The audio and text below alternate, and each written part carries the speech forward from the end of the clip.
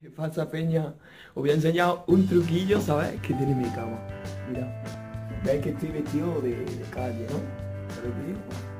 Pues me quito la zapatilla y mira.